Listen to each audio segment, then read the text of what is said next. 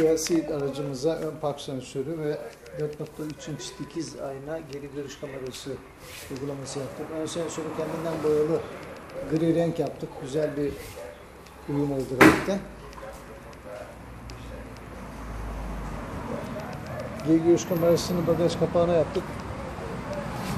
Bagaj kapağında çok güzel orijinal bir görsel oldu. Gizli kaldı. Aynamız kendi orijinal aynasının üzerine geçmedir. Kendi aynası altta kaldı. 4.3 inç dikiz aynamız. Kontağı açtım ön sensör bık bık bık aktif etti. Sağ kaliferin oraya alıyor şu anda. Geriye takıyorum.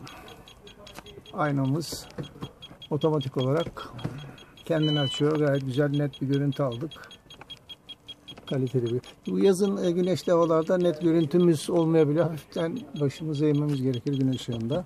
Onun haricinde gayet güzel kaliteli bir uygulama. Ön sensör için de buraya harici bir düğme koyduk. Sürekli rahatsız etmesin diye. Özel isteğe bağlı bir düğme koyduk orada. O da kendini kapatıyor bu şekilde. Gayet güzel bir uygulama oldu. Kia Ceed aracımıza yaptığımız bu uygulamalar. Uygulamaların satış ve montajını yapıyoruz. Videonun hemen altında iletişim bilgilerinden bizimle bağlantı kurabilirsiniz.